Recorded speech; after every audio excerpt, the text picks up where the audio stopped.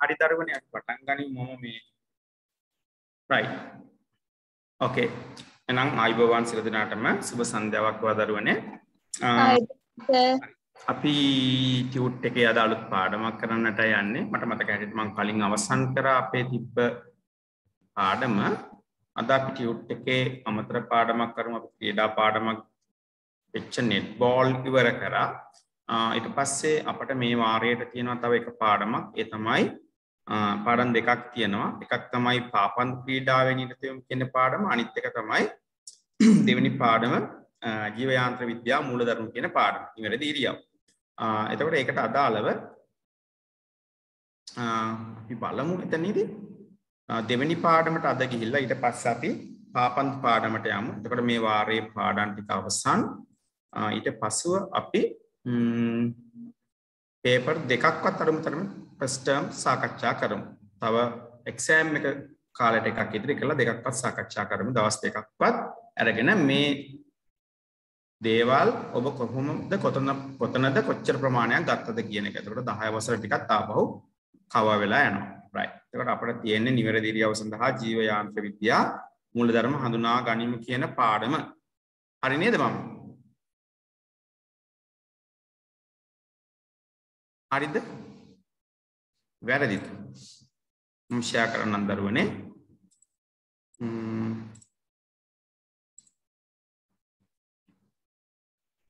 හරිද පේනවනේ ඔයාලට?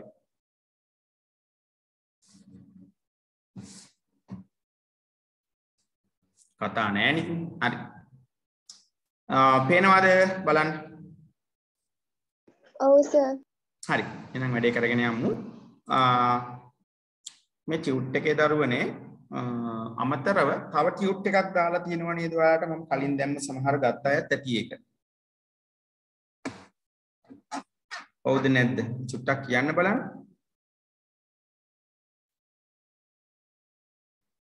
ඒ ටියුට් එකක් තියෙනවද? දෙවෙනි වාර ටියුට් එක? චුට්ටක් කියන්න මට. නැද්ද කාගාව? කතානේ කරන්න බැරි නේද? අර ඉබගෙන් පිහාටු ගන්නවා වගේ තමයි මේ මේ උත්තරයක් ගන්න එක. හරි. එතකොට අපි දැන් අද නිවැරදි ඉරියව් සඳහා ජීවයාන්ත්‍ර විද්‍යා මූලධර්ම කියන කොටසට අදාළව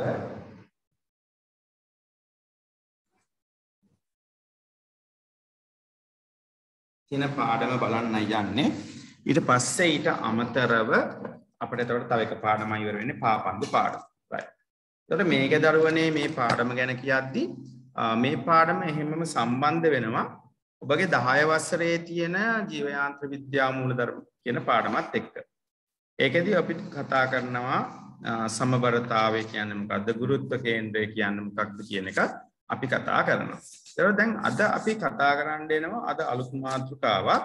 ඒතර මේකෙදි චුට්ටක් විද්‍යාවේ තියෙන භෞතික විද්‍යා කොටස් ටිකකුත් අන්තර්ගත වෙනවා මේ පාඩමට. ඒ නිසා අමාරු පාඩමක් කියලා හිතෙන්න පුළුවන්. නමුත් අමාරු නැහැ මේක. අමාරු නැහැ. නමුත් අමාරු කියලා හිතෙන්න පුළුවන් අර කොටස් ඇති මේ ඇතුළත් වෙන ඉඳ ගම්මිතාවය කියයි, ඵලය කියයි, අවස්ථිතිය කියයි. ඔය වගේ ලොකු ලොකු වචන තියෙන තේරුමක් නැති පොඩි පොඩි මාතෘකා තියෙනවා. තේරුමක් තියෙනවා. මගේ ඒක කියන්නේ එච්චර ලො එච්චර අමාරු නෑ. ඉතින් අපි ඒ වාගේ ටිකකුත් අරගෙන අපි බලමු මොනවද මේ කියන්නේ කියලා. right. එහෙනම් අපෙන් අහනවා පළවෙනි එක නිවැරදි ඉරියව්වක් කියන්නේ මොකක්ද කියලා මේක 6 වසරේ ඉඳන් හම්බ වෙන දෙයක්. නිවැරදි ඉරියව්වක්. සාමාන්‍ය අපි නිවැරදි ඉරියව්වක් කියනකොට අපි දැන් මම මේ ඉතින් මම චලනය වෙනවා තමයි. නමුත් මම මේ ඉතින් නිශ්චලයි. ඇවිදින කෙනෙක් නම් දුවන කෙනෙක් නම් පනින කෙනෙක් නම් එයා චලනය වෙනවා. එතකොට වැතිරෙනවා නම් අන්න නිශ්චලයි. ඉඳ ගන්නවා නම් නිශ්චලයි. හිටගෙන ඉන්නවා නම් නිශ්චලයි. එතකොට ඇවිදී කියන්නේ චලනයේදී එහෙම නැත්තම් නිශ්චලතාවයේ කවුරු හරි ඉතින් එක්කෝ ඇවිදිත්තින් හරි අන්න ඒ වගේ. චලනයේදී එහෙම නැත්තම් නිශ්චලතාවයේ කවුරු හරි කෙනෙක් ඉද්දී එයාගේ පේශිවලට ඒ කියන්නේ මාංශ පේශි පේශිවලට අවමහානියක් වන විදිහට කටයුතු කරන එකට එහෙම නැත්තම් එහෙම ඉඳගෙන චලන පවත්වා ගන්න එකට අපි කියනවා නිවැරදි ඉරියව්වක් කියලා. එක හරියටම කිව්වොත් එම් චලනයේදී එහෙම නැත්නම් නිශ්චලව සිටින අවස්ථාවකදී ශරීරයේ තියෙන පේශිවලට හානියක් නැත්නම් ආබාධයක් නොවන පරිදි අපේ මොකද කරන්නේ චලන පවත්වා ගැනීම. ඔන්න ඔකට තමයි අපි කියන්නේ නිවැරදි ඉරියව් කියලා. එතකොට එහෙනම් අපි පළවෙනි කොටසට උත්තරයක් ගොනු කරගමු.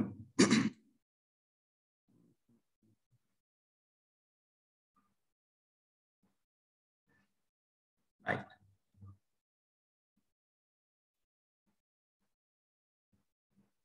හරි මේ තියෙන්නේ. එතකොට මෙතනදී මෙන්න මේ කොටසයි ඔතෙන්ට පිළිතුර චලනයේදී හෝ නිශ්චල අවස්ථාවේදී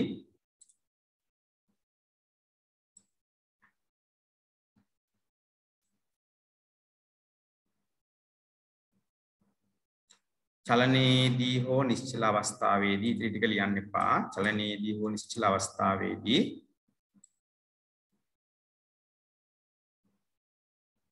නිශ්චල අවස්ථාවේදී පේශිවලට අවම පේශිවලට පේශිවලින් පේශිවලින් අවම ශක්තියක් වැෑවන පරිදි පේශිවලින් අවම ශක්තියක් වැෑවන පරිදි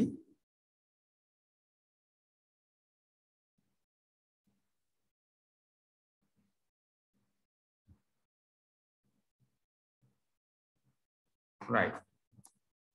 අවස්ථාවේදී පේශිවලින් අවම ශක්තියක් වැෑවන පරිදි පේශිවලින් අවම ශක්තියක් පේශිවලින් අවම ශක්තියක් වැෑවන පරිදි පේශිවලින් අවම ශක්තියක් වැෑවන පරිදි හා හා අවම ශක්තියක් වැෑවන පරිදි හා අවම ශක්තියක් වැෑවන පරිදි හා අවම ශක්තියක් වැෑවන පරිදි හා ශරීරාංග වලට ශරීරයේ අංග කියන ශරීරාංග. ශරීරාංග වලට ශරීරාංග වලට ශරීරාංග වලට හානියක් නොවන පරිදි ශරීරාංග වලට හානියක් නොවන පරිදි ශරීරාංග වලට හානියක් නොවන පරිදි ශරීරාංග වලට හානියක් නොවන පරිදි ශරීරාංගවලට හානියක් නොවන පරිදි ශරීරාංගවලට හානියක් නොවන පරිදි ශරීරයේ කොටස් නිවැරදිව පිහිටුවා ගැනීමයි. ශරීරාංගවලට හානියක් නොවන පරිදි ශරීරයේ කොටස් ශරීරයේ සියලු ඕනි නැහැ ශරීරයේ කොටස් නිවැරදිව පවත්වා ගැනීමයි නිවැරදිව පවත්වා ගැනීමයි නිවැරදිව පවත්වා ගැනීමයි. නිවැරදිව පවත්වා ගැනීම.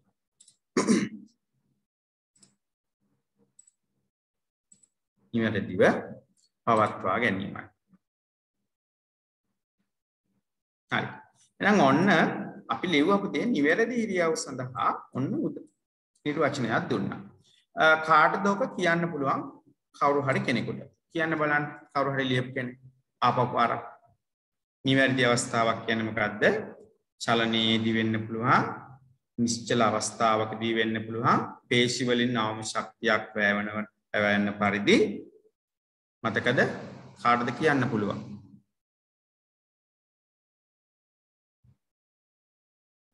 දැන් හැමදාම ඉන්නේ අපි ටික විතරයි. ඉමාසි විවිෂා බිමල්කා නේද?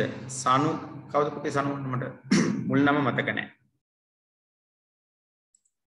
හරි. එතකොට දැන් ඒත් ඉතින් ඔන්න ආ ඉදුවරා නේද? ඉදුවරා ඉන්නවා. රයිට් එතකොට ඔය ටික තමයි ඉන්නේ. ඉතින් අපි ඒ ටිකේ ඉඳලත් ඔන්න උත්තරයක් දෙන්න බෑ. රයිට් බලන්න කවුරු හරි කියමු දරුවනේ. නිවැරදි ඉරියව් අසහන්සලා අසහන්සලා හරි පුතේ. හරි. කියමු බලන්න. නිවැරදි ඉරියව්වක් හෙට අමතර පන්තියක් දැම්මා. හෙට එකොළහ මාර්ක්ද මන්දන්නේ එකොළහට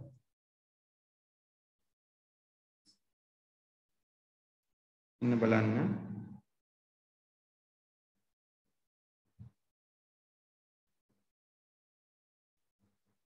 ඔව්. එකොළහට එකක් දැම්මා. රෙකෝඩින් එක බලන්න කාට හරි අපහසුවක් තියෙනවා නම්. ආ හරි පුතේ හරි. ක්ලාස් ඉඳලා ආවනේ. මේක දරුවෝ මම දාලා තියෙනවා මම ආපහු දාන්නම්. ගොඩක් කලින් දාන්නේ මේකයි මම දැම්මේ නැත්තේ. ආ දැන් සෙට් එකක් එකතු වුණා නේද අපිට? හරි. ටියුට් එක නැති කෙනෙක් ඉන්නවා නම් මට කියන්න දරුවනේ මේ මේ චුට්ටක් රේස් හෑන්ඩ් එකක් දෙන්න. දෙන්නෙක්ට නෑනේ නිරිෂිකාට බිමන්සා. දැන් මෙච්චර වෙලා ඕක කිව්වේ නැද්ද? ඈ ඉමාෂි දැන් කොහොමද ලියාගත්තේ ඔය ටික? අපරාධෙන් හරි මම අද දාන්නම්. අද කියන්නේ දැන් මේ මේ දැන් WhatsApp එක මම ඕන් කරලා නැහැ. මම දාන්නම් ඒක. ඉතින් දරුවනේ අපරාධේ තා පාඩම් දෙකයි තියෙන්නේ. ඒතකොට කොහොමද අනිත් ඒවා ලියාගන්න? ආයක ලියාගන්න පුළුවන් පොත බලලත් රෙකෝඩින්ග්ස් බලලා ලියාගන්න පුළුවන්. රයිට් මට කියන්න පොඩ්ඩක් එහෙනම් මේක ලියපු කෙනෙක් හොඳ දරුවෙක් වගේ ඉක්මනට කියන්න. නිවැරදි ලියාවක් කියන්නේ මොකද්ද කියලා? පොතේ ලියාගත්තා. හරි දරුවෝ. හා කියන්න බලන්න. නිවැරදි චලනයේ චලනයේදී හෝ නිශ්චල අවස්ථාවකදී පේශිවලින් චෙක් කරගන්න චෙක් වේට් වේට් වේට් ඉන්න පුතා. අම්මෝ බදලු කොච්චිය වගේ පොඩක් ඉන්න. හා හොඳයි. ආ කියන පුතේ ආපහු හිමින් කියන්න. කවුරු හරි චෙක් කරගන්න. හා ලියාපු නැති කෙනෙක් ඉන්නවනම් චලනයේදී චලනයේදී හෝ නිශ්චල අවස්ථාවකදී පේශිවලින් නාම ශක්තියක් වැයවන පරිදි හා ශරීරාංගවලට හානියක් නොවන පරිදි ශරීරයේ කොටස් නිවැරදිව පවත්වා පවත්වා ගැනීම. ගැනීමයි. හරි. හරි. එහෙනම් ඔය තමයි අපිට අපි නිවැරදි ඉරියව්වක් කියලා කිව්වේ. රයිට් ඊළඟට අපි බලනවා දෙවෙනි ප්‍රශ්නෙට යමු එහෙනම් ඉරියව්වල වෙනස්කම්. ඉරියව්වල වෙනස්කම් ඇතිවීමට බලපානු ලබන. ඉරියව්වල වෙනස්කම්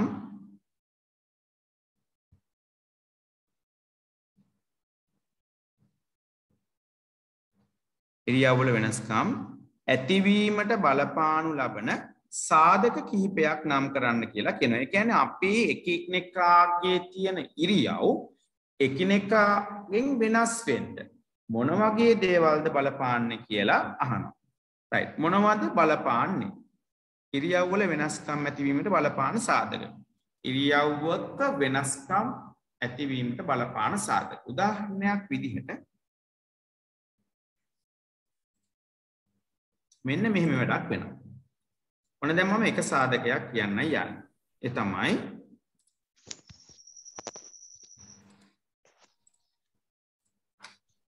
right. මෙන්න තියෙනවා පුටුවක්. මෙන්න තියෙනවා පුටුවක්.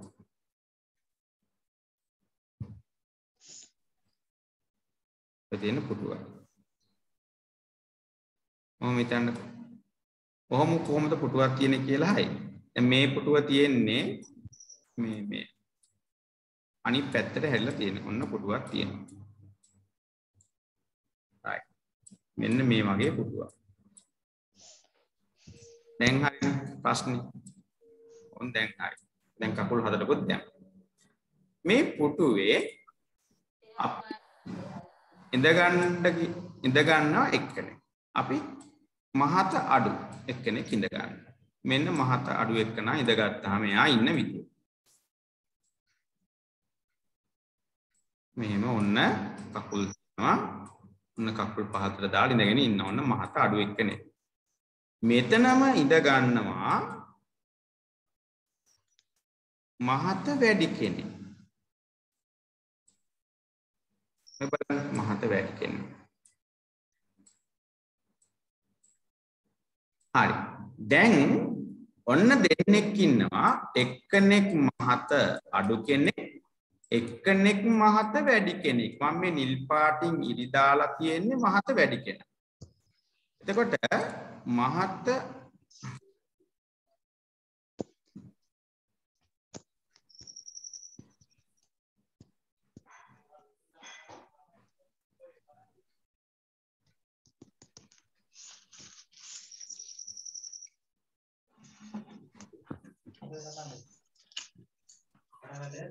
ම්ම්. තංගල ගත්තා තප්පරයක් දෙන්න පුතේ ආයතනයේ මැසේජ් එකක්.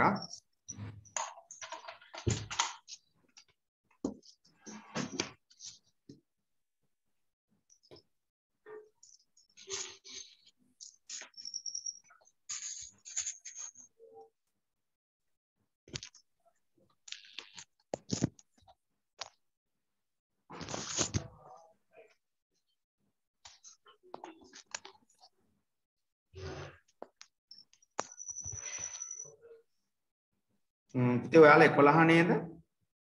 හෙට මේ හෙට ඔයාලට නෑ නේද ක්ලාස් උදේ.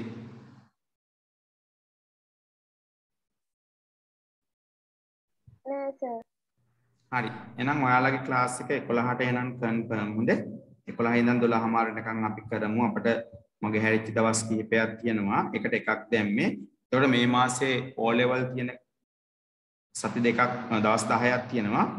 ඒකෙදිත් අපි ඒකෙත් තව අමතර දවස් දෙකක් විතර දාගමු වැඩිපුරත් එක්කලා මේ ටියුට් එක මේ මාස ඉවර කරමු ඊළඟට යන්න කලින්. එම තමයි වැඩේ නේ. ඔව්. ෆැමිලි ක්ලාස් එක සර් දාලා තියෙනකොට තමයි ආවේ. ඔයාලට නෙමෙයි හැබැයි 10 වසරට.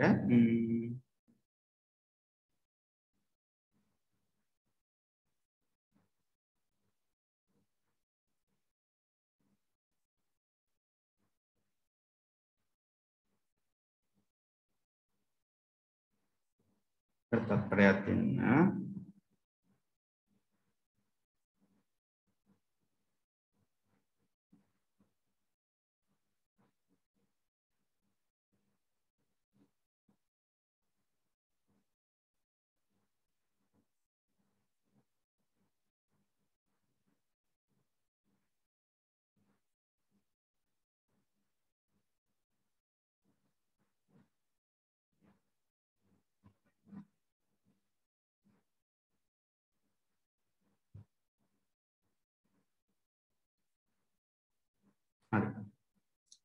සොරි දැන් බලන්න කොටුවේ ඉඳගෙන ඉන්නවා දෙන්නේ එක්කෙනෙක් තමයි එකම කොටුව. එක්කෙනෙක් මේ මේ දුඹුරු පාටින් ඉන්න කෙනා මහත අඩු කෙනෙක්. අනිත් කෙනා නිල් පාටින් මං ඇඳලා තියෙන කෙනා මහත වැඩි කෙනෙක්. එකම කොටුවේ ඇඳ ඉඳගෙන ඉන්නේ. එකම කොටුවේ. දෙන්නම ඉන්නේ ඉඳ ගැනීම කියන ඉරියව්වේ. එතකොට පුටුවෙන් එළියට මේ නිල් පාට නැත්තම් මහත කෙනාගේ ශරීරාංග ගිහින්ද නැද්ද? ඔන්න පළවෙනි ප්‍රශ්නේ. පුටුවෙන් එළියට මහත කෙනාගේ ශරීරාංග ගිහින්ද නැද්ද? ගිහින් ගිහිල්ලා. එතකොට ඇත්තටම එයාට ඒක මේ මේ හොඳ විදිහකට තියාගෙන ඉන්න පුළුවන් වේද නැත්නම් එයාට මේ පේශි වලින් වැඩි ශක්තියක් යොදාගන්න වේද මෙහෙම ඉද්දි. දැන් මේ දුඹුරු පාට කෙනාට කිසි ප්‍රශ්නයක් නැහැ. පුටු ඇඳට හේතු වුණා හිටියා. හැබැයි නිල් පාට කෙනා ගත්තොත් එහෙම මෙන්න මේ නිල් පාට කෙනා එයාගේ ශරීරාංග එළි. දැන් සමහර වෙලාවට මෙයාගේ මේ පත්තත් එළිය, මේ ඇඟත් එළිය. එතකොට මොකද වෙන්නේ? එයාට වැඩියෙන් ශක්තියක් යොදන්න වෙනවා මේ ඉරියව්ව තියාගන්න. ඒ නිසා එයාගේ බලපානවා මෙතෙන්ට මොකද්ද? ඔන්න ඉරියව් තියාගන්න බලපාන සාධකයක් වෙනවා එයාගේ මොකද්ද එතකොට? මහතයි කියන්නේ එයාගේ මොකක්ද වැඩි? අර එහෙනම් ඔන්න එකක් තමයි බර. ඊළඟ එක තමයි ඒ වගේම මෙයා මහතයි කියන්නේ යාගේ මෙයා කෙට්ටුයි කියන්නේ යාලගේ සිරුරේ තියෙන්නේ හැඩ දෙකක්. එහෙනම් තව එකක් බලපානවා මොකද්ද පුතේ යාට? සිරුරේ මොකද්ද? සිරුරේ හැඩය බලපානවා. එහෙනම් බර හැඩය. ඒ වගේම තව බලපානවා මෙයාලගේ මොකද්ද තියෙන? මෙයාලා ඉන්න මෙන්න මෙයත් බලපානවා. කවුද? වයසත් බලපානවා. එහෙනම් අපෙන් අහලා තියෙන්නේ ගත්ත ප්‍රශ්නයේ තියෙන ඉරියව් වල වෙනස්කම් ඇතිවීමට බලපාන ලබන සාධක කිහිපයක් නම් කරන්න කියලයි. එහෙනම් මොනවද සාධක ටික?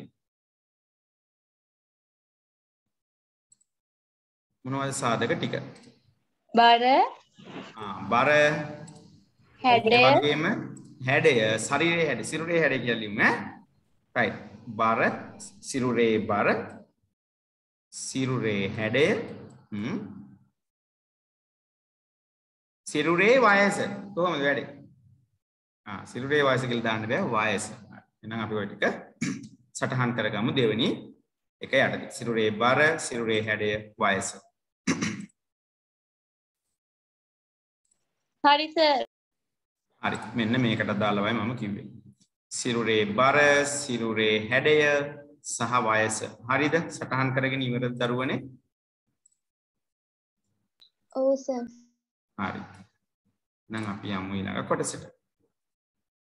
ඉරියව් බෙදනු ලබන ප්‍රධාන කොටස් දෙක නම් කර ඒ සඳහා උදාහරණ දෙන්න. දැන් අපෙන් අහනවා ඉරියව් බෙදනු ලබන ප්‍රධාන කොටස් දෙක නම් කර ඒ සඳහා උදාහරණ දෙන්න. මේ බලන්නකො පළවෙනි පින්තූරේ මේ කාන්තාවක් ඉන්නේ. මෙන්න මේ කාන්තාව ඉන්න පින්තූරේ එයා ඉන්නේ පුතේ මොන ඉරියව්වෙන්ද ඉන්නේ? එයා ඉන්නේ කොහොමද? එයා ඉන්නේ කුමන ඉරියව්වෙන්ද ඉන්නේ? මොන ඉරියව්වෙන්ද එයා ඉන්නේ?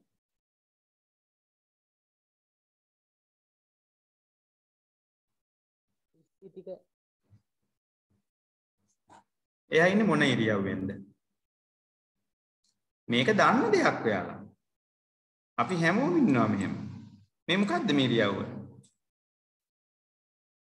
බුදු අම්මේ සෞඛ්‍ය කරන එක හරිම අවදානක්. මේ ඉරියව්ව දන්නේ නැත්තම්. මොකක්ද මේ ඉරියව්ව? ආ මේ ඉරියව්ව මොකද්ද?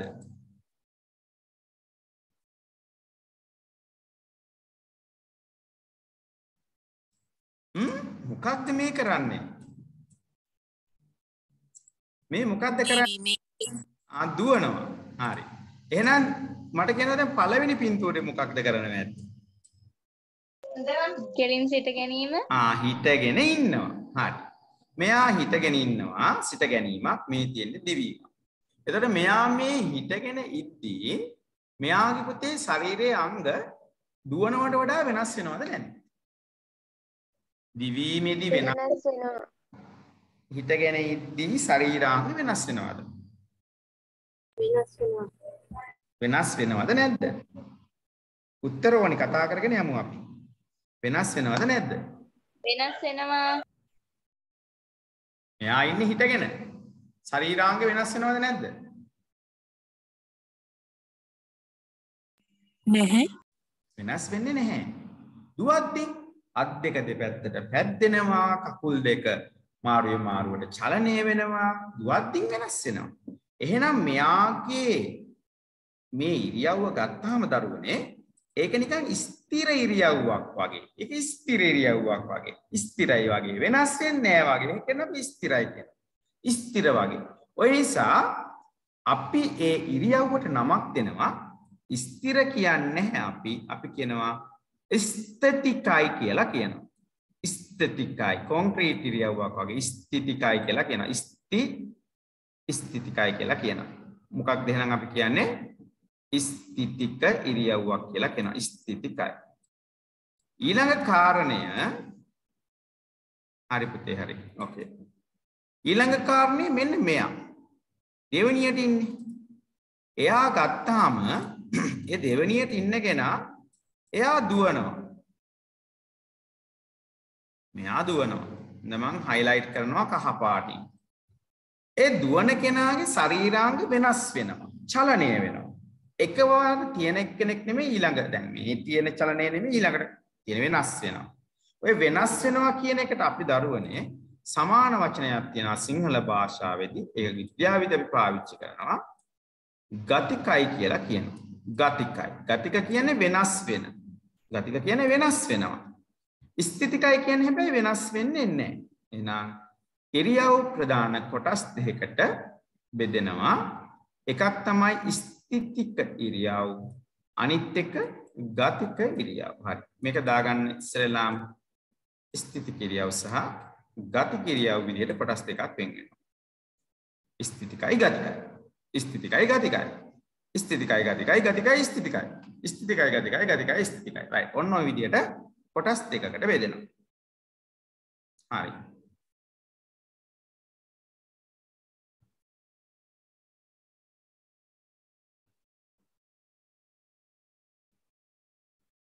හරි. හරි නේද? හරි. රයිට් ඕකේ එහෙනම් අපි උදාහරණ ලියමු.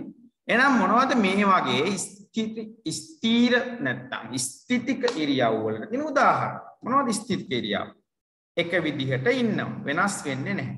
මොනවද පුතේ? හිඳ ගැනීම. එකක් තමයි සිට ගැනීම. හරි. එකක් තමයි සිට ගැනීම. එකක් පුතේ කිව්වම උත්තරයක් සිට ගැනීම අනිත් එක ඉඳ ඉඳ ගැනීම. ඉඳ ගැනීමත් හරි දැන් මම ඉන්නේ මේ ඉඳගෙන ඉන්නේ. එහෙනම් ඉඳ ගැනීම. සිට ගැනීම ඉඳ ගැනීම. right සිට ගැනීම ඉඳ ගැනීම. තව කෙනෙක් ඉන්නවා. එයා තමයි කවුද? වැතිරීම. වැතිරීම. ආ. වැතිරීම. වැතිරීම.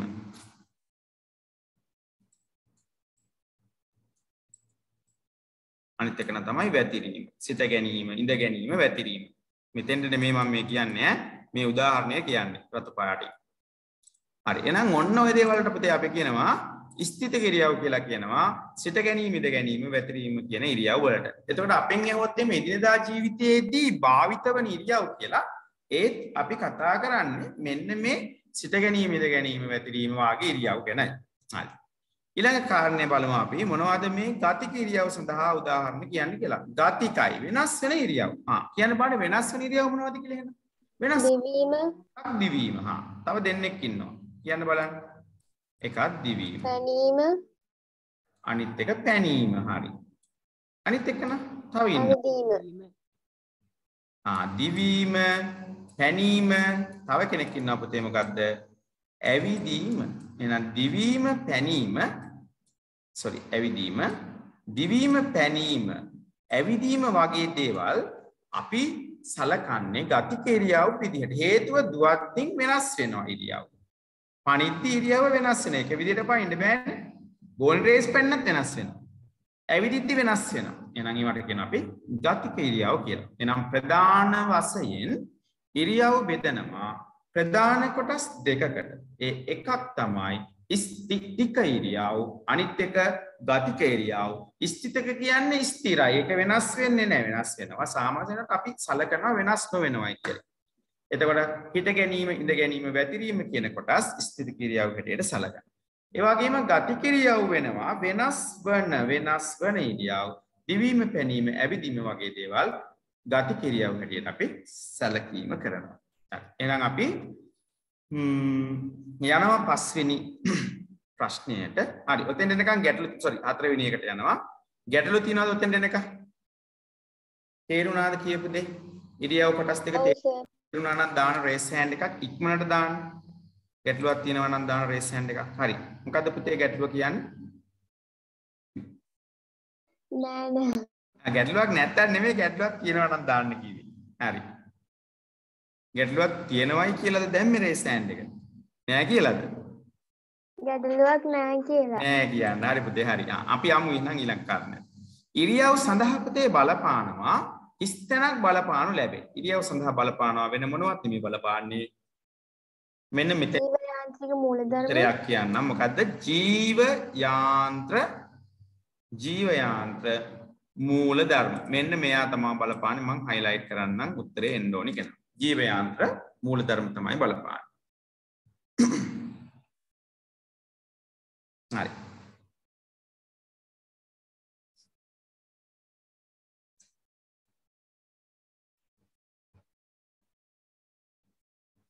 හරි.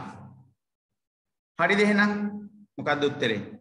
ජීවයාන්ත්‍ර විද්‍යා නැත්නම් ජීවයාන්ත්‍ර මූලධර්ම කියන එක තමයි උතෙන්ට එන්නේ කාරණය හරි හරි.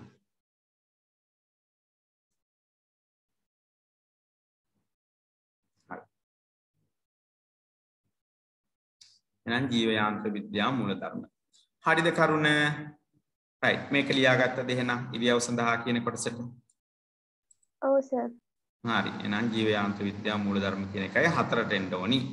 ජීවයාන්ත්‍ර විද්‍යා මූලධර්ම නිසා තමයි ඉරියව් සඳහා බලපාන්නේ. right. ඊළඟට අපෙන් අහනවා ඉරියව් සඳහා බලපාන ලබන ජීවයාන්ත්‍ර මූලධර්ම නම් කරන්න කියලා. හරි. මෙන්න ඉරියව් සඳහා බලපාන ජීවයාන්ත්‍ර විද්‍යා නැත්නම් ජීවයාන්ත්‍ර මූලධර්ම. right.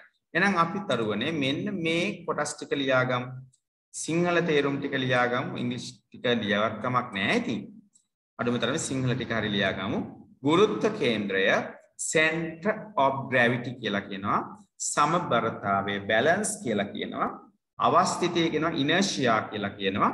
බලයට ෆෝස් කියලා කියනවා බලයේ දිසාවට කියනවා ඩිරෙක්ෂන් of force කියලා මොමෙන්ටම් කියනවා ගම්‍යතාවයට. එතකොට මෙන්න මේ කරුණු පිළිබඳ මේ පාඩමේදී මම ඔයත් එක්කලා කතා කරනවා ඔයාට මේ සංකල්ප ටික කියලා දෙනවා මතක හිටින විදිහට කියලා දෙනවා. ඉතින් අමතක කරගත්තොත් මට කරන්න දෙයක් නැහැ. right මම හිතනවා කියලා දෙන විදිහට තේරුම් ගන්න පුළුවන් වෙයි කියලා. හරි. එහෙම බැරි වෙලාවක් තිබ්බොත් එහෙම ආපහු මගෙන් අහන්න පුළුවන්. එහෙම නැත්නම් වීඩියෝ එක එකපාරක් දෙපාරක් බලන්න පුළුවන්. right. එහෙනම් මෙන්න 6. right. තියාගන්න එහෙනම්.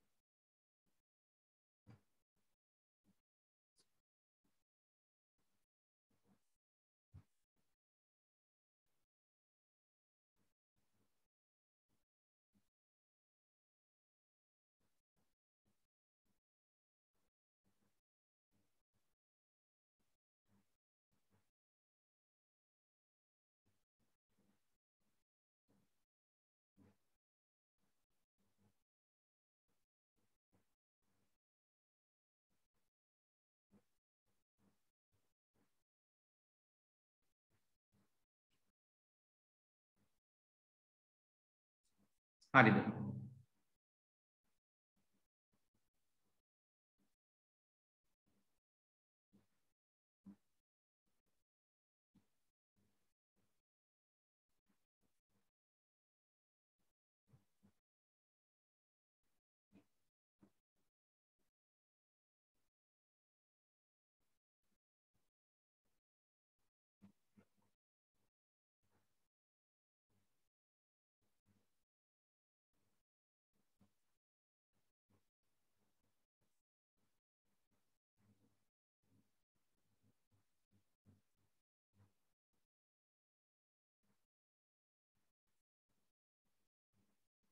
හරිද දරුවනේ? ඉවරද? හරි. හරිනේ? right. එහෙනම් අපි යමු එකකට එකක් බලමු. මොනවද මේ ජීවයාන්ත්‍ර මූලධර්ම කියන්නේ කියලා. අ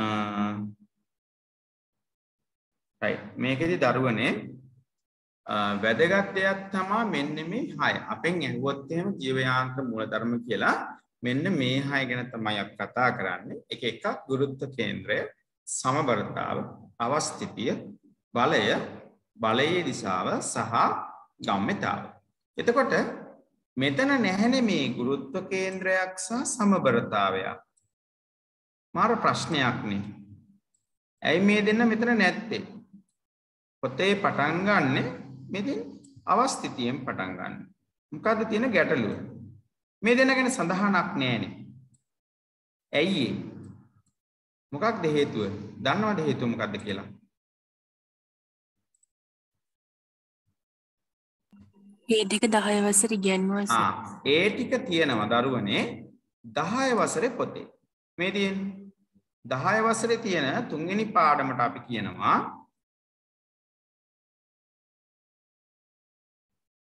නිවැරදි ඉරියව් පවත්වා ගැනීම යටතේ තියෙන ඔය ජීවයාන්ත්‍ර විද්‍යාවම තමයි ජීවයාන්ත්‍ර මූලධර්මම තමයි ඒකෙදි අපි කතා කරන්නේ මෙන්න ගුරුත්ව කේන්ද්‍රය සහ සමබරතාවය මම කෙටියෙන් මේ දෙන්න කියලා දෙන්න. නැත්තම් නිකන් ඔළුවට පොල්ලෙන් ගෙහුව වගේ වෙයි කෙලින්ම අවස්ථිතියෙන් පටන් ගත්තොත් එහෙම. right. ඒකෙදි පළවෙනි එක තමයි ගුරුත්ව කේන්ද්‍රය කියන්නේ. ගුරුත්ව කේන්ද්‍රය කියන්නේ දරුවනේ ඕනෑම වස්තුවකට. ඒ කියන්නේ ඕනෑම වස්තුවක් හැදිලා තියෙන්නේ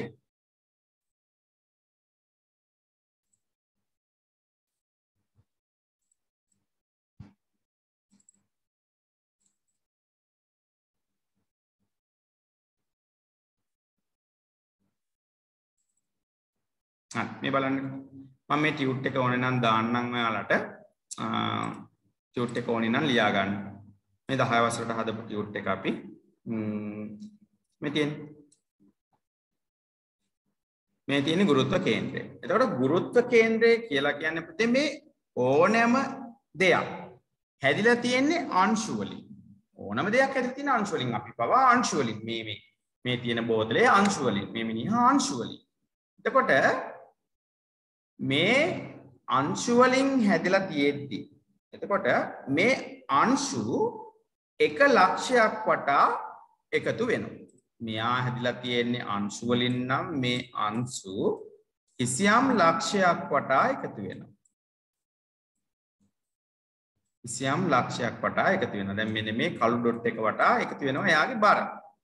මෙයාගේ බර මේ මේ කළු ඩොට් එක වටා එකතු වෙනවා. නම් අංශු කිසියම් ස්ථානයක් කරා එකතු වෙන ස්ථානයකට කේන්ද්‍ර වෙනවා. මිනිහෙක් ගත්තොත් මිනිහගේ බර මෙන්න මේ මෙන්න මෙතෙන්ට කේන්ද්‍රගත වෙනවා. සර් ස්ක්‍රීන් එක ෂෙයා කරලා තියෙන්නේ. ඕහ මින්ඩෝ මින්ඩෝ මින්ඩෝ මින්ඩෝ. පේන්නේ නැහැ sorry. right. මේ තියෙන්නේ මේ බෝතලේ වගේ එක ගත්තේ මෙයා හැදිලා තියෙන අංශු වලින්. එතකොට මේ හැම අංශුවකටම ස්කන්ධයක් තියෙනවා. ඒ හැම ස්කන්ධයක්ම හැම අංශුවක්ම එක තැනකට පුතේ මේ මේ කේන්ද්‍රගත වෙනවා. කිසියම් ලක්ෂයක් වටා එකතු වෙනවා. මේකත් එහෙමයි. කිසියම් මෙන්න මෙතන කිසියම් ලක්ෂයක් වටා එකතු වෙලා. මේ පැත්තේ යනනම් කිසියම් ලක්ෂයකට ලක්ෂයක් වටා එකතු වෙනවා. මිනිහෙක් ගත්තත් මිනිහගෙත් එහෙමයි. මිනිහා හැදලා තියෙන්නේ අංශු වලින්. එතකොට මේ අංශු සියල්ලම එක තැනක් වටා එකතු වෙනවා. එක ලක්ෂයක් වටා ක්‍රියාත්මක වෙනවා. අන්න ඒ ලක්ෂය මොකද අපි කියනවා ගුරුත්ව කේන්ද්‍රය කියලා. එතකොට ඔන්න ලක්ෂයට තමා කියන්න අපි ගුරුත්ව කේන්ද්‍රය කියලා. එතකොට මිනිස්සෙක් ගත්තාම මිනිස්සයා ගත්තාම ඒ මිනිස්සයා දක්වන විවිධ ශාරීරික ඉරියව්. ඒ කියන්නේ මිනිහා දක්වන විවිධ ඉරියව් අනුව ගුරුත්ව කේන්ද්‍රය පිහිටන තැන වෙනස් වෙනවා. දැන් මේ රූප ටික අපි 1 2 3 4 5 කියලා නම් කරොත් එහෙම මේ එක කියන කෙනාගේ ගුරුත්ව කේන්ද්‍රය දැන් මේ තියෙන නාභිය හරිය. ඒ කියන්නේ අපි කියනවා පෙකණිය හරිය තමයි මේ තියෙන්නේ. නාභිය. එතකොට මේ එයා ඉන්නේ කොහොමද? එයා අත් දෙක දෙපැත්තට දාලා ඉන්නේ. කකුල් දෙක චුට්ටක් උරහිස් මට්ටමට තියාගෙන ඉන්නේ. හැබැයි අත් දෙක දෙපැත්තට දාලා තියෙනවා. කකුල් දෙක එයාගේ උරහිස් පල්ලට තියාගෙන ඉන්නේ. එතකොට අපි මෙයාට කියන සාමාන්‍ය තත්ත්වයෙන් ඉන්න මිනිස්සෙක්. සාමාන්‍ය විදිහට ඉන්න මිනිස්සෙක්. ඒ මනුස්සයාගේ ගුරුත්ව කේන්ද්‍රය පිහිටනා පුතේ පොළවේ ඉඳන් ගත්තොත් එහෙම 156ක් උඩින් 150 කියන්නේ භාගයේ 156ක් භාගයට වඩා තව චුට්ටක් ඉහළින් තමයි යාගේ ගුරුත්ව කේන්ද්‍රය පිහිටන්නේ. එතකොට මෙන්න මේ හරියාගේ ගුරුත්ව කේන්ද්‍රය පිහිටනවා. එතකොට මේ ඔයා දකින පළවෙනි රූපේ තියෙන්නේ අත් දෙපැත්තට දාලා හිටගෙන ඉන්න පින්තූරය මේ දෙපැත්තට දාලා හිටගෙන. හැබැයි දෙවෙනි රූපෙන් පෙන්වන්නේ දකුණු අත දාලා චුට්ටක් ඒ පැත්තට දකුණු පැත්තට බර වෙලා ඉන්න කෙනෙක්. දෙවෙනි එකේ ඉන්නේ. එතකොට මෙන්න මෙයාගේ අර මේ මැදින් තිබ්බ ගුරුත්ව කේන්ද්‍රය චුට්ටක් මේ පැත්තට ගිහලා මේ එයාගේ දකුණු අත පැත්තට ගිහිල්ලා. ඔන්න ගුරුත්ව කේන්ද්‍රය මැද තිබ්බ කෙනා ගිහිල්ලා. ළඟ එක්කනා එයාගේ අත් දෙක උස්සලා ඒ කියන්නේ අත් දෙක උස්සනවා. තව ඕනනම් මෙයාගේ ඇඟිලි තුඩු වලින් උඩට ගියොත් එහෙම අන්න ගුරුත්ව කේන්ද්‍රය මෙතන තිබ්බ ගුරුත්ව කේන්ද්‍රය හිටගෙන සාමාන්‍ය විදිහට හිටගෙන තිබ්බ ගුරුත්ව කේන්ද්‍රය දැන් ගිහිල්ලා තියෙනවා කොහාටද මෙන්න ඉහළට ගිහින් තියෙනවා. මෙයා නැමෙනවා. මේ බලන්න එයාගේ කකුල් අල්ලනවා එයාගේ අත්වලින්. එතකොට මැද තිබ්බ ගුරුත්ව කේන්ද්‍රය අන්න පහළට ගමන් කරනවා. මෙන්න ඉන්නවා වෙන්න අවස්ථාවේදී ඉන්න කෙනෙක් අන්න ගුරුත්ව කේන්ද්‍රය අත් දෙකයි දෙපැත්තෙන් සමබරයි පාද දෙක දෙපැත්තෙන් සමබරයි මෙන්න මේ හරිය ගුරුත්ව කේන්ද්‍රය පිහිටනවා. එහෙනම් විවිධ ඉරියව් අනුව මොකද වෙන්නේ ගුරුත්ව කේන්ද්‍රයට? මොකද වෙන්නේ? මොකද වෙන්නේ ගුරුත්ව කේන්ද්‍රයට? වෙනස් වෙනවද නැද්ද? වෙනස් වෙනවා. වෙනස් වෙනවා. මොකක් අනුවද වෙනස් වෙන්නේ? මේ මෙයා අනුව. මොකක් අනුවද? ශාරීරික ඉරියව්ව අනුවයි වෙනස් වෙන්නේ. එතකොට මේ ගුරුත්ව කේන්ද්‍රය කියන්නේ ස්ථිතික ඉරියව් වලදී වෙන එකක් නෙමෙයි ගති කියන්නේ ගුරුත්ව කේන්ද්‍රයක් ස්ථිතික ඉරියව්වලදී තියෙනවා. හැබැයි ගතික ඉරියව්වලදී මෙයා මොකද වෙන්නේ ගුරුත්ව කේන්ද්‍රය తాවකාලිකව වෙනස් වෙනවා. ගතික ඉරියව්වලදී తాවකාලිකව ගුරුත්ව කේන්ද්‍රය වෙනස් වෙනවා. එතකොට මෙන්න තියෙනවා අර සාමාන්‍ය මට්ටමේ හිටගෙන ඉන්න මිනිස්සෙක්ගේ ගුරුත්ව කේන්ද්‍රය පිහිටලා තියෙන තැන. right. ඔය තමයි ගුරුත්ව කේන්ද්‍රය සම්බන්ධයෙන් කියලා දෙන්න තියෙන දේ. right. ඊළඟට අපි බලමු පොඩ්ඩක් ආපහු චුට්ටක් පැහැදිලි කර දෙන්නම් සමබරතාවය කියන එක. right. right. ගන්නකෝ පෑනක් ගන්නකෝ හැමෝම. අතට ගන්න පෑනක්. මාත් ගත්ත පෑන. අඩි රුලක් ගත්තත් කමන්නේ. දිග පැන්සලක් ගත්තත් කමන්නේ.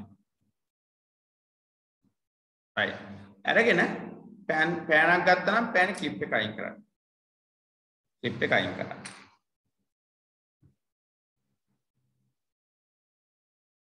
පෑන ගත්තා පෑන ක්ලිප් එක අයින් කරන්න.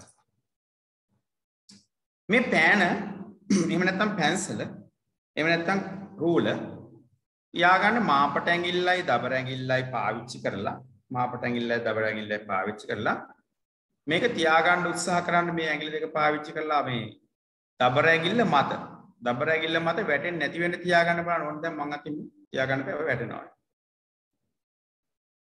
බලන්න එක්තරා අවස්ථාවකදී මේක තියාගන්න පුළුවන්ද කියලා. මේ වගේ. මේ තියෙන්නේ වගේ දැන්. බලන්න පුළුවන්ද කියලා. පුළුවන්. පුළුවන්. පොඩි පුළුවන් නම් මාක් එකක් දාගන්න. එතන ඉෆෙක්ට්ස් එකක් හරි කමක් නැහැ. පොඩි මාක් එකක් දාගන්න පුළුවන්.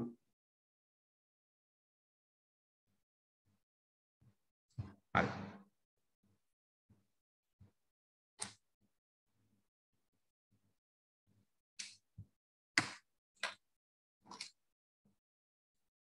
හරි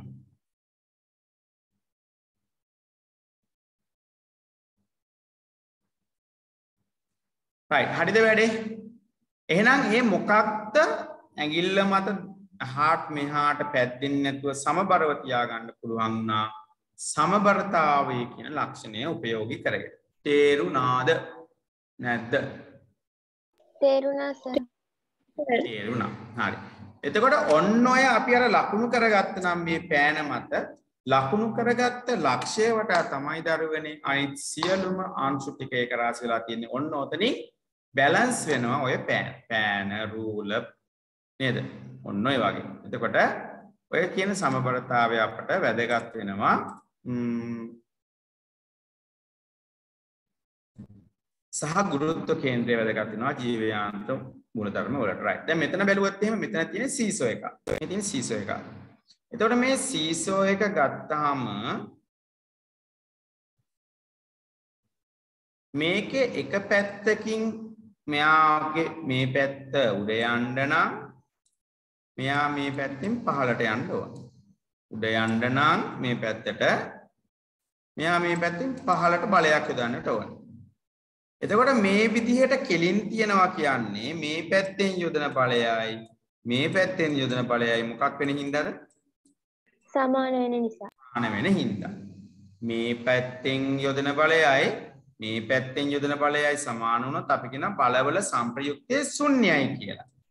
එතකොට මේ දිසාවෙන් ඇතිවන බලපෑමට සමාන බලයක් මේ දිසාවෙන් ඇති වුණොත් එහෙම අන්න ඒ වස්තුව මොකද වෙන්නේ සමබරව තියෙනවා. ඕක තමයි සමබරතාවය කියලා අපි ඉගෙන ගත්තේ. ඉතින් සමබරතාවය සඳහා ඉවහල් වන සාධක කීපයක් තියෙනවා. මෙන්න ඒ සාධක ටික ගුරුත්ව රේඛාව ආධාරක පතුලේ සීමාවේ පිහිටීම.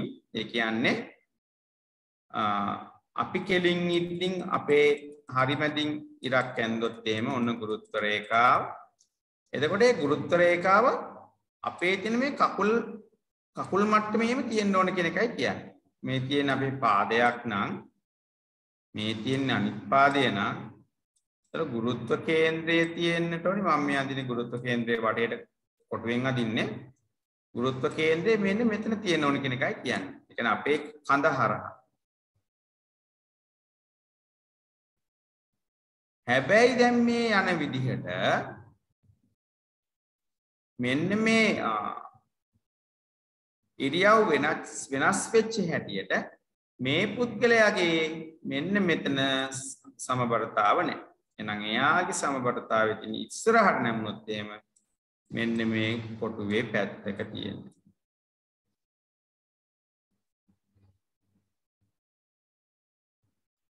හරි.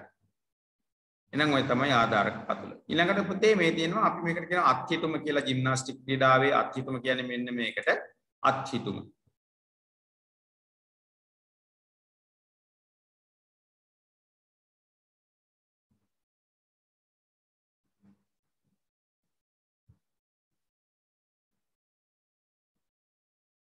හරි. දැන් ඔන්න ගුරුත්ව කේන්ද්‍රය. ඔන්න ආධාරක පතුල. ඊළඟට තව කෙනෙක් ඉන්නවා මෙතන.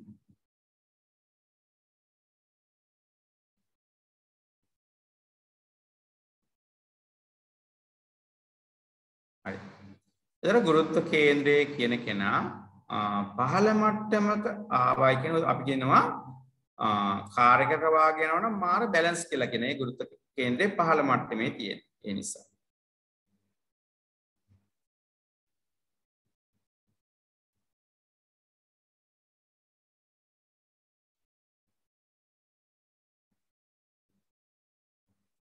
right මේ තියෙන්නේ වගේ ධන හිස්ස තියෙනවනේ. ධන හිසින් සිරුර නමලා මේ තියෙන ධන හිසින් සිරුර නමලා ඉද්දී.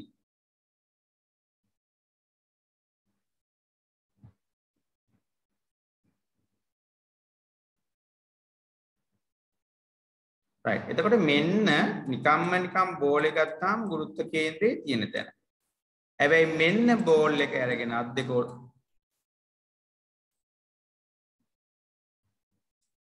right. මෙන්න අර කලින් හිටිය අත් දෙක දිග අරගෙන දැන් ඔන්න යනවා බෝලෙත් එක්ක. එතකොට අන්න මේ හරියේ තිබ්බ ගුරුත්ව කේන්ද්‍රය අන්න ඉහළට ගමන් කරනවා. අන්න ඉහළට ගමන් කරනවා.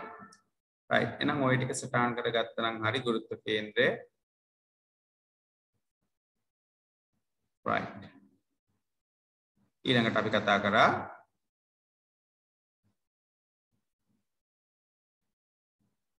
සමබරතාවය. right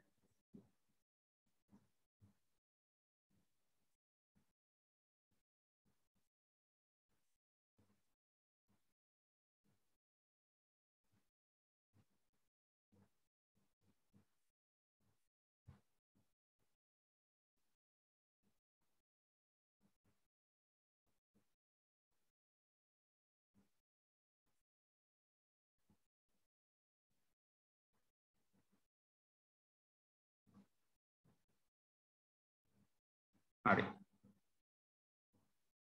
මේ තියෙනට මම කලින් කතා කරපු එක පාදවල ඉඳලා 156ක් ඉහළින් පිටනවායි කියන එක. right. එහෙනම් ඔය කරුණු දෙක හොඳටම ප්‍රමාණවත්. තව ගැටලුවක් තියෙනවා නම් අහන්න. ඔය තියෙන්නේ විරුද්ධ දිශාවලට චලනය කිරීම ශාරීරිකාවයව. ඒ කියන්නේ අපි අර මෙහෙම වැටෙන්න යද්දී කකුලක් ඉරායාසයෙන්ම අනිත් පැත්තට යොමු වෙනවා. මෙහෙම වැටෙන්න යද්දී අනිත් පැත්තට කකුලක් එසවිලා යනවා. ඒ විදිහට. එකට බාහිර බලයක් දෙසට සිරුර නැඹුරු කිරීම. ඒ කියන්නේ දැන් උදාහරණයක් විදිහට මේ තියෙන බෝල් එකක් එනවා නම් අපි බෝල් එක දිහාවට බෝල් එක දිහාට බෝල් එක ගන්න බාහිර බලයේ වෙතට අත් දෙක දානවා. නැත්නම් එක තැන ඉඳගෙන බෝල් එක ඇල්ලුවොත් එහෙනම් බෝලෙත් එක්ක අපිත් බිම. ඒ නිසා බෝල එන පැත්තට අත දැම්ම දාලා ගත්තා. ඔය තියෙන්නේ බාහිර බලයක් දෙසට සිරුර නැඹුරු කිරීම මේ තියෙන්නේ ශාරීරිකව විරුද්ධ දිශාවලට චලනය වීම. මේ තියෙන උතේ ආධාරක පතුල විශාල කිරීම විශාල වීම. හරි.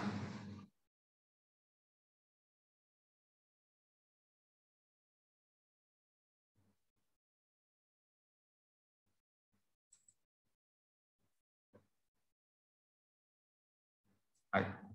දැන් ඔය පිළිබඳව ගැටලු තියෙනවද? මට කියන්න තියෙනවන්න ඔය දෙන්න ගැන. ඒ තමයි ගුරුත්ව කේන්ද්‍රය සම්ප්‍රතාවය. තියෙනවා නම් තියෙනවා කියන නැත්තම් නෑ කියන්න.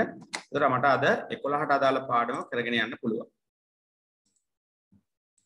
ඔය මතක් කිරීමක් විතරයි මම කරේ. 10 වසරේ කොටස් දෙකක්. මොකද නැත්තම් ඕක කොහෙ තියෙනවද කියලා දන්නේ නැති වෙලාලා ඒ නිසායි මෙතන තිබ්බ center of gravity නැත්තම් ගුරුත්ව කේන්ද්‍රය එහෙම නැත්නම් සමබරතාවය එහෙම නැත්නම් බැලන්ස් කියන එක නම් මම ඔන්න ලිව්වේ. හරි. ඔය ටික පැහැදිලිද? පැහැදිලි වුණේ නැත්te නැත්නම් කියන්නේ එහෙම නැත්නම් අපෝ කියලා දෙන්න.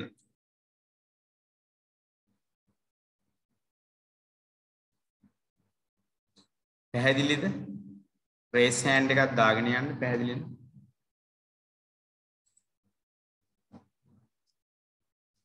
රේස් හෑන්ඩ් එකක් දෙන්න පැහැදිලි නම් නැත්නම් මම ආපහු කියලා දෙන්නම්.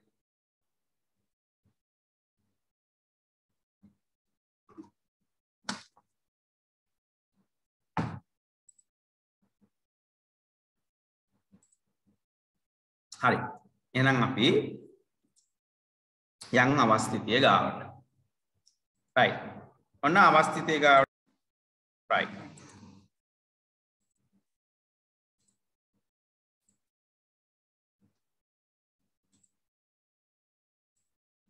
මේ තියෙන්නේ අපේ ඇඳ.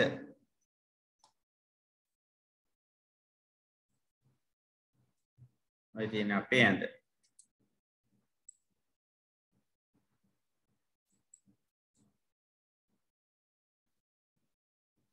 Right.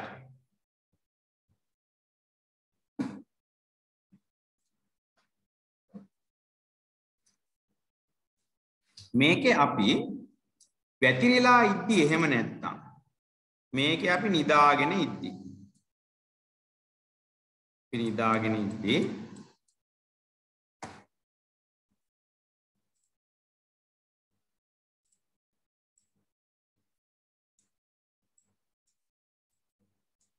ඔන්න අපි වැතිරිලා ඉන්නවා. හිතන්නකෝ අපි පොඩි නැප් එකක් ඒ කියන්නේ පොඩි කෙටි නිින්දක් දාගෙන ඉන්නවා කියලා. Right. අපිට කරදර කරනවට අපි කැමතිද?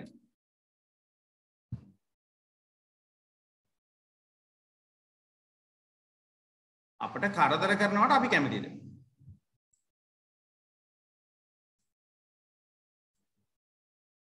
අපට කරදර කරනවට අපි කැමතිද?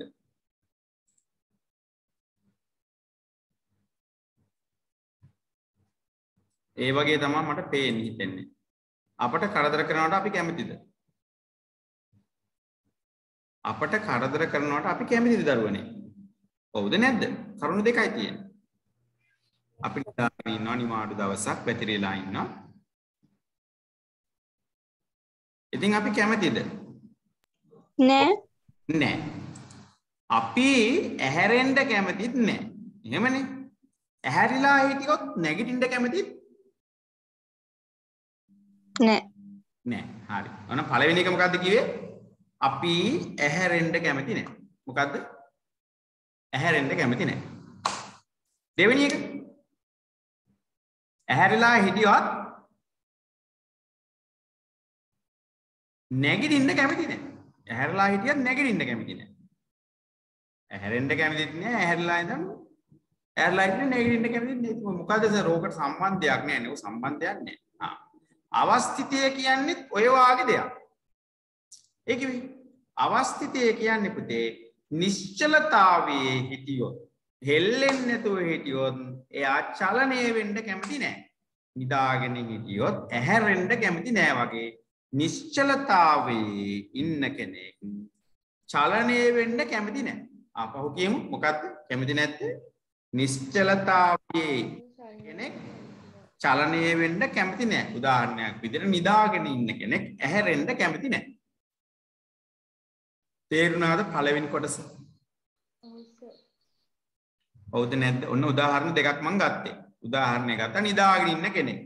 ඒ නිදාගෙන ඉන්න කෙනා ඇහැරෙන්න කැමති නෑ ආ නිශ්චලතාවයේ ඉන්න කෙනෙක් චලනය වෙන්න කැමති?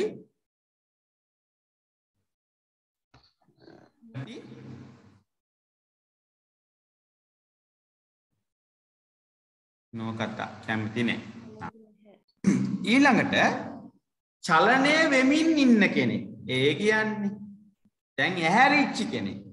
චලනය වෙමින් ඉන්න කෙනෙක් නැගිටින්ට කැමති නෑ අන්නේ වගේ නම් චලනය වෙන කෙනෙක් නත්ට දක්වන්නෙත් අකමැත්තා චලනය වෙන කෙනා නැගිටින්ට දක්වන්න අකමැත්තක් නෑ අර මේ නිදාගෙන ඇහැරලා ඉන්න කෙනා නැගිටින්ට දක්වන්න අකමැත්තක් ඒ වගේ චලනය වෙන කෙනත් නවතින්ට දක්වන්නේ අකමැත්තා. එනම් ඔන මං කරුණු දෙකක් කිව්වා. එකක් තමයි නිදාගෙන ඉන්න කෙනා ඇහැරින්න කැමති? කැමති? ඇහැරෙන්ට කැමති නෑ. එහෙ කියන්නේ අපි සමාන කරමු. අර නිශ්චලතාවේ තියෙන දෙයට සමාන කරොත් එහෙම. නිශ්චලතාවේ තියෙන වස්තුවක් චලනය වෙන්න කැමති? චලනය වෙන්න කැමති? අර එහ බලලා කියන්නේ චලනය වෙන්න කැමති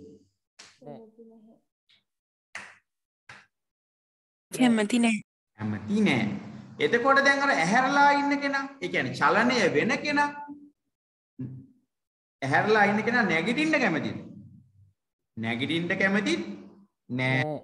චලනය වෙමින් පවතින කෙනා නතර වෙන්න කැමැත්තකුත් නතර වෙන්න කැමැත්තකුත් නෑ. එහෙනම් ඔන්න ඕකට තමයි අපි අවස්ථිතය කියන්නේ. මොකද්ද? ඉදාගෙන ඉන්න කෙනෙක් නැගිටින්නයි ඇහැරලා ඉන්න කෙනෙක් නැගිටින්නයි දෙන අකමැත්තද? එහෙම ලියුවොත් දරුවනේ වැරදි. මම ඒ දුන්නේ උදාහරණයක් විතරයි. එහෙනම් මෙන්න අපි එනවා අවස්ථිතය ගාවට පුතේ. නිශ්චලව තිබෙන වස්තුවක් චලනය කිරීමට හෝ චලනය වෙමින් තිබෙන වස්තුවක් නතරවීමට දක්වන අකමැත්තට අපි කියනවා අවස්ථිතිය කියලා. ඔන්න අවස්ථිතිය රයිට් එහෙනම් අපි ඕක සටහනක් දාගමු. අවස්ථිතිය නිශ්චලතාවේ තිබෙන වස්තුවක්. චලනය වීමට හෝ චලනය වෙමින් තිබෙන වස්තුවක් නතරවීමට හෝ දක්වන අකමැත්තයි. හරි ඔය තමයි අවස්ථිතිය. හරි ඔන්න අවස්ථිතිය. ඔනම සරල උදාහරණයක් ගත්තේ. හරි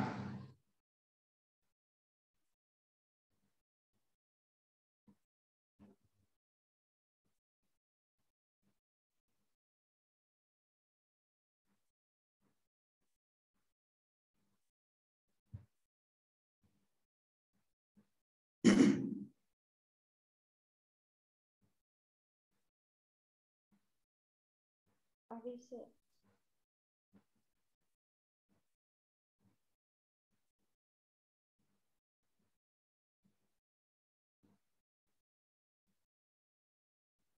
හරිනේ දරුවනේ ලිව්වද හරිද බලන්න ලිව්වද හරි. හරි.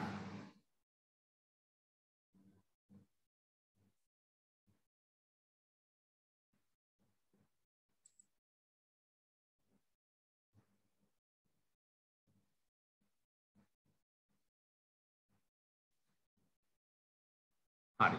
දැන් අපි යම් පොඩි උදාහරණයක් බලන්න. මේ ඉන්නේ බලන්නකෝ. මෙන්න ඉන්නවා. ළමයෙක් ඉන්නවා. A සහ B කියන පෙට්ටි දෙක අරගෙන. A B කියලා පෙට්ටි දෙකක් අරගෙන ළමයෙක් ඉන්නවා.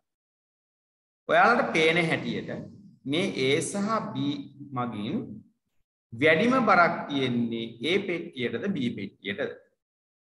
B පෙට්ටියක මේ A පෙට්ටිය සහ B පෙට්ටිය අතුරින් වැඩිම බරක් තියෙන්නේ B? පෙට්ටිය. බී පෙට්ටිය. දැක පෙට්ටිය දෙහා බලලා කියන්න? බී පෙට්ටිය. Aද Bද කියලා යහන්න B පෙට්ටිය. හ්ම්? වැඩිම බරක් තියෙන්නේ Aද Bද B පෙට්ටියේ. ඒට වඩා බර වැඩි කාගේද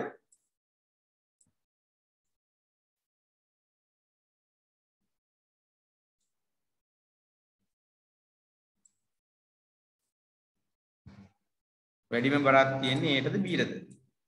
Bට බීට පේනවා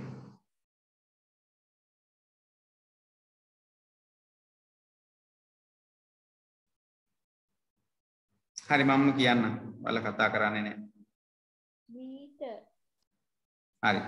තියෙන පුතේ බීට රයිට් එතකොට වැඩිම බරක් B. එහෙනම් මට කියන්න ඔසවන්න අමාරුම එක්කනා Aද Bද? ඔසවන්න අමාරු කෙනා? B B Aද Bද? B. හේතුව එයා චලනය වෙන්න දක්වන්නේ කැමැත්තක්ද අකමැත්තක්ද? මොකක්? අකමැත්ත B කියන කෙනා චලනය වෙන්න කැමැත්තක් දක්වන්නේ අඩු.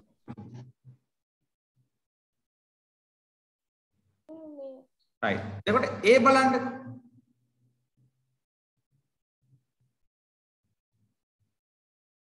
B ගත්තොත් එහෙම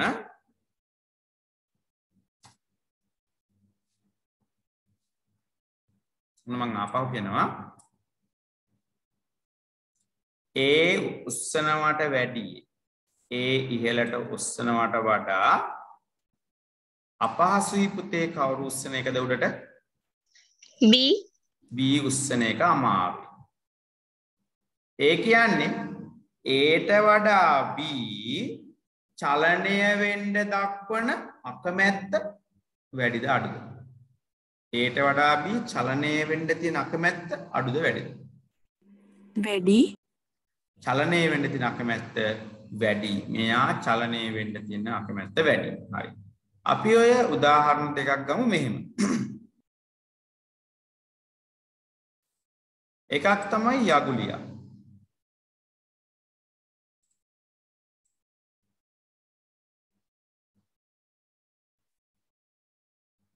එකක් තමයි යගුලියා.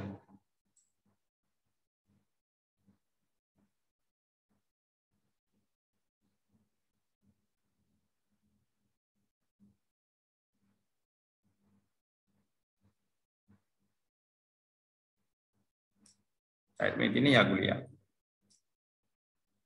තව එකක් තමයි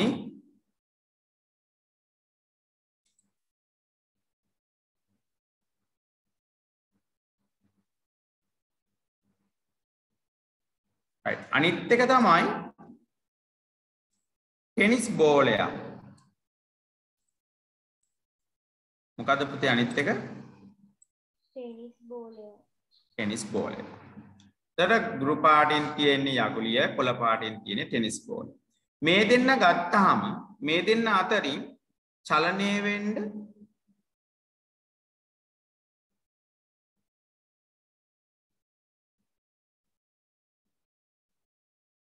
හරි. මේ දෙන්න අතරින් වැඩියෙන්ම බර තියෙන යකුලිය අඩුවෙන්ම බර තියෙන්නේ මොන බෝලේද? ටෙනිස් බෝලය ටෙනිස් බෝලය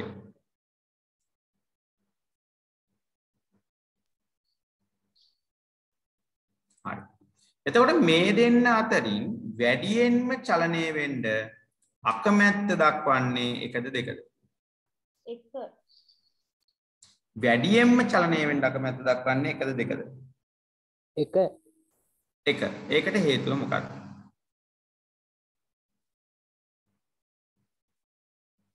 මේ දෙන්න අතරින් යගුලියක් සහ ටෙනිස් බෝලයක් ඇසුරෙන්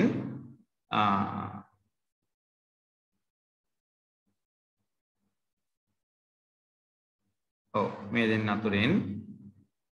එක සහ දෙක අතුරෙන්.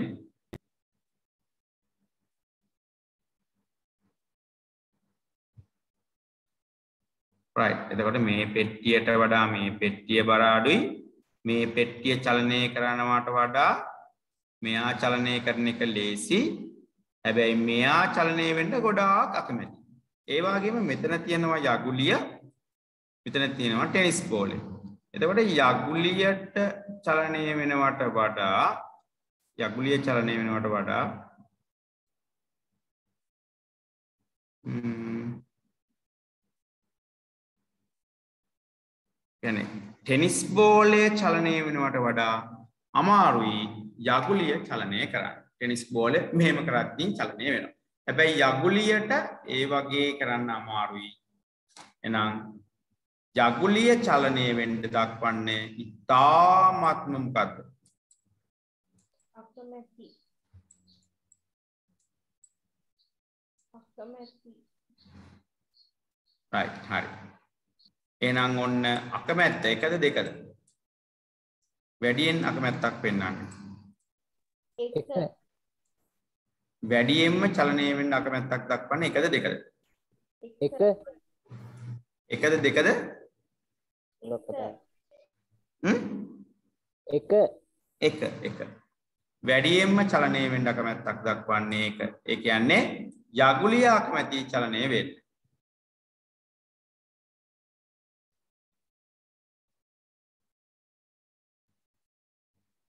Right. එහෙනම් අපි එතනින් එහාට යමු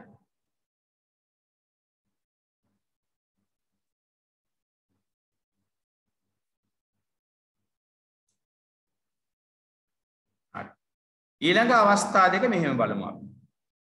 ඊළඟ අවස්ථා දෙකේදී වෙන්නේ ආ ගන්නවා ලෙදර් බෝලයක්.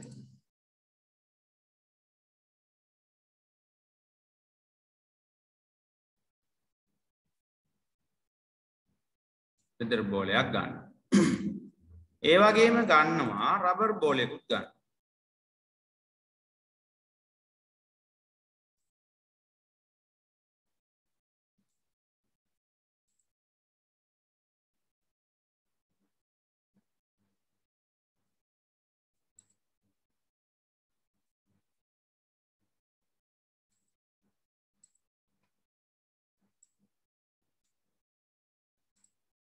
හරි. right.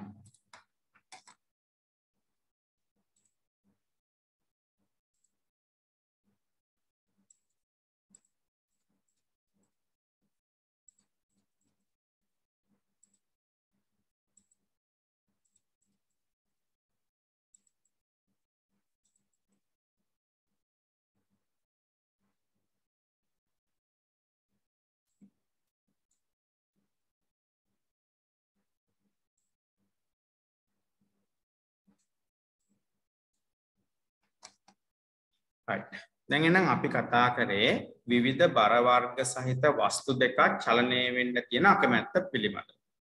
දැන් වෙන්න එකම විදිහේ වස්තු දෙකක් තියෙනවා. එකක් තමයි ක්‍රිකට් ලෙදර් බෝලයක්. හිතන්නකො මෙන්න මේක ලෙදර් බෝලයක්. මේ තියෙන ලෙදර් බෝලය. මේ තියෙන්නේ මොන බෝලයක්ද එහෙනම්?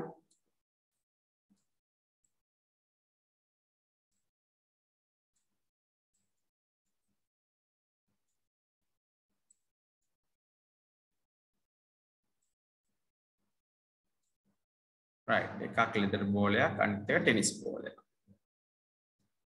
Right. එතකොට මේකෙදි මෙන්න මෙහෙම එකක් හිතනවා. ඒ තමයි මේ බෝල් දෙකම එක ළඟ ඉඳලා යවුවොත් එහෙම කාට හරි. එක ළඟ ඉඳලා යාළුවෙකුට යවුවා කියලා හිතමු.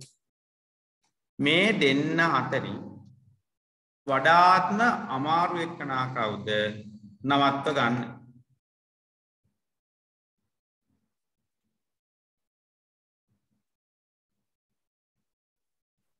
ලෙදේ බෝලේ Hmm? Tennis the leather ලෙදේ බෝලේ leather ball. හරි. පුතේ මේ දෙන්න ගත්තොත් එහෙම මේ දෙන්න ඉස්සරහට මේ දෙන්නම දුවුවොත් එහෙම බැරි වෙලාවත් මේ දෙන්නගේ රබර් බෝල් එකයි එහෙම නැත්නම් ටෙනිස් බෝල් එකයි එහෙම නැත්නම් මෙතන තියෙන ලෙදර් බෝල් එක අපි මෙදිගේ තල්ලු කරලා යවුවොත් එහෙම මේ දෙන්න අතරිනුත් නවතින්න අඩු එක්කනා කවුද? නවතින්න.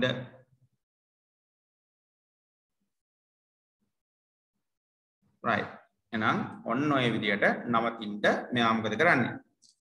ආ නවතින්න මෙයා අපහසු වෙනවා. මෙයා අපහසු වෙනවා. නවතින්න පහසු අපහසු වෙනවා. Right. එතකොට ඒ කියන්නේ වැඩි අකමැත්තක් දක්වන්නේ කවුද මේ දෙන්නගෙන් නතර වෙන්නේ?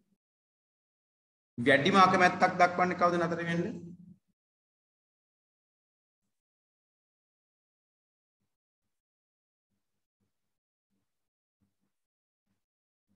හරි. එතකොට වැඩිම අකමැත්තක් දක්වන්නේ කවුද එතකොට? මේ දෙන්න අතර. ලෙදේ බෝලේ ලෙදර් බෝලේ.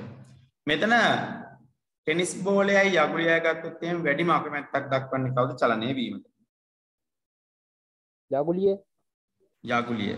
මේ A සහ B කියන පෙට්ටි දෙක ගත්තොත් එහෙම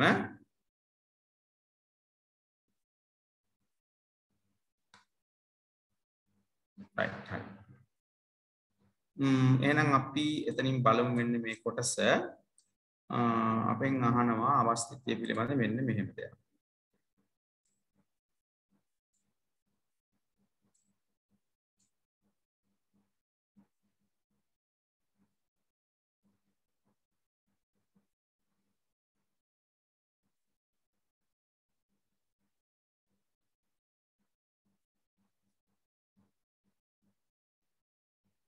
හරි. right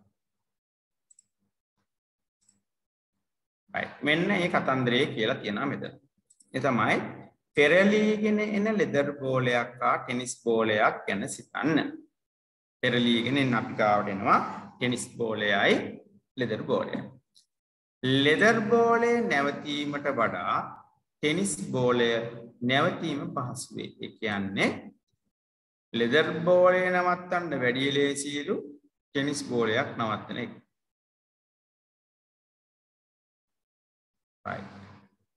එතකොට මේකෙන් පෙනී යනවලු ගද ලෙදර් බෝලයේ චලනය නැවැත්වීමට ඇති අකමැත්ත එනම් අවස්ථිතිය වැඩි බව කියලා ඔන්න කියනවලු. කියන්නේ ලෙදර් බෝලයේ චලනය නැවැත්වීමට ඇති අකමැත්ත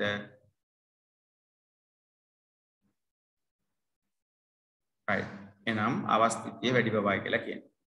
එනම් මෙන්න මේ විදිහට බර වැඩි දෙයක් ගත්තොත් එහෙම එයා චලනය වෙන්න තියෙන හැකියාව එහෙම නැත්නම් චලනය වෙන්න තියෙන අවස්ථාව ඉතාමත්ම අඩුයි. right. එතකොට චලනය වෙන්න අකමැති කියන්නේ එයාගේ අවස්ථිතිය අඩුද වැඩිද එහෙනම්. අවස්ථිතිය එයාගේ අඩුද වැඩිද? අඩුද වැඩිද?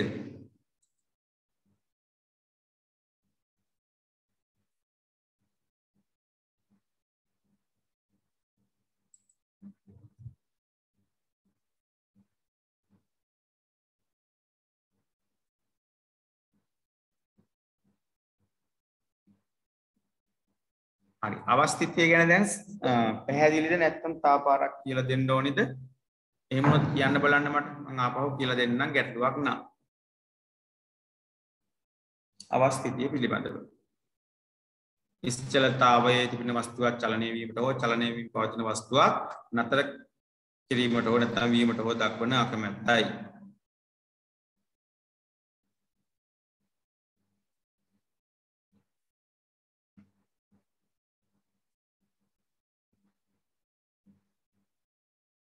ගැටලුවක් නැද්ද? ගැටලුවක් නෑ සර්. හරි. ගැටලුවක්. නැහැ. හරි. ආ. ඊළඟට බලය. right. ක්‍රිකට් ක්‍රීඩාව ගත්තහම විවිධ පහරවල් තියෙනවා. හරි. විවිධ පහරවල් තියෙනවා. මේ පැත්තෙන් පන්දු යවන්නා පන්දුවක් දාද්දී අනිත් අන්තයේ ඉන්න පිතිකරු ඒ බෝල් එකට මොකද කරන්න බෝලස් නැත්තම් පන්දු යවන්නා යවන දිසාවටමද පන්දු යවන්නා යවන පැත්තටමද එයා ගහන්නේ නැත්නම් එයා ගහදි වෙනස් වෙනවද? පාර වෙනස් වෙනවද? එරුන්නේ නැහැ මම කියලා දෙන්නම්.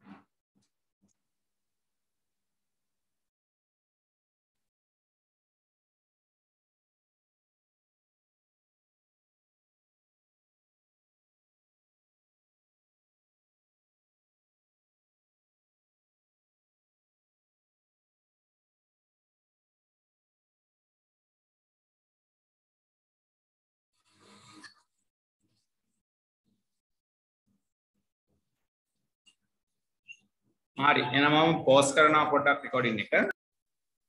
එහෙනම් වීඩියෝ එකේ දැක්කා නිශ්චලව තියෙන බෝලය. මොකද කරේ පුතේ අපි? චලනය කරන්න නම් දුන්නා මොකද්ද? මොකක්ද දුන්නේ?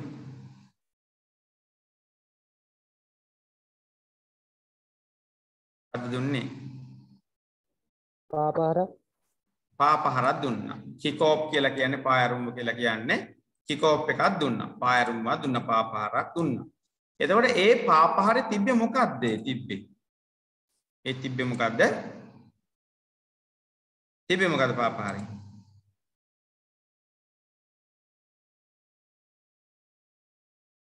මොකක්ද තිබ්බේ? බල.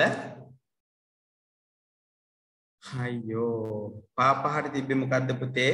බලයක් තිබ්බේ. බලයක් තිබ්බේ. එතකොට ඒ බලය කියන්නේ නිශ්චලතාවයේ පවතින වස්තුවක් චලනය කිරීමට හෝ චලනය වන වස්තුවක චලිත ස්වභාවය වෙනස් කිරීමට හේතු වන බලපෑම. ඒ කියන්නේ නිශ්චලව තියෙන දෙයක් චලනය කරන්න හරි චලනය වෙන දෙයක දිශාව වෙනස් කරන්න හරි බෝල් එකේනවා දිශාව වෙනස් කරා.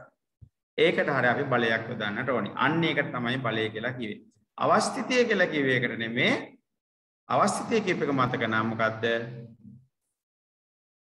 නිශ්චලවතාවයේ තිබෙන වස්තුවක් චලනය වීමට හෝ චලනය වෙමින් පවතින වස්තුවක් නතර වීමට හෝ දක්වන අකමැත්ත තමයි අවස්ථිතය කියලා කිව්වේ. නම් අපි අවස්ථිතය කියන එක ලිව්වා. අ අවස්ථිතය මත මෙන්න මේ කරුණ සහ මේකට උදාහරණ තුනක් අපි ඊළඟ දවස්සේ බලමු මම බලය කියන එකත් අද කතා කරා. එතකොට මේකත් ආපහු නැවත වතාවක් පැහැදිලි කරලා දෙන්නම්. පන්ති මිස් කරගන්න එපා පුළුවන් නම් අපි හෙට උදේ මේක ඉතිරි ටික කතා කරමු. right. එහෙනම් දැන් අපි මෙතනින් වැඩේ නවත්වමු. ඔව් මෙතනින් වැඩේ නවත්වමු. අපි හෙට 11ට පුළුවන් තරම් ඔව් 11ට පුතේ හම්බෙන්න බලමු. පහුගිය මගේ ඇරච්චි ක්ලාස් එකක් සඳහායි මම අමතර පන්තියක් දැම්මේ හෙට දිනේදී. right. එහෙනම් ආයුබෝවන් සිල් දෙනාටම සුබ රාත්‍රිය. අයිබෝ ආයුබෝවන් ආයුබෝවන්. සර්.